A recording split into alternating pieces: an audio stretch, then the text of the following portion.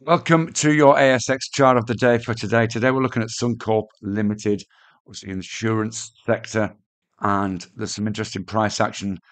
But we could be looking for a breakout trade on this stock. Let's have a look at the chart right now. And you can see here, really since the middle of March, we've been pushing hard against this 1660 level. Current stocks have done pretty well throughout 2024 to date, and indeed we're at record highs or pretty close to them on most. Suncorp is the outperformer, it's the only one up today of the big three. Uh, but we do look as though we might be setting up for a breach of 1660, if not today, then over the next couple of days. If we do so, this would be a marked change in sentiment as its record highs. Uh, perhaps we look at the last range as a guide to how far this may go up, and we've got around about 80 cents on this.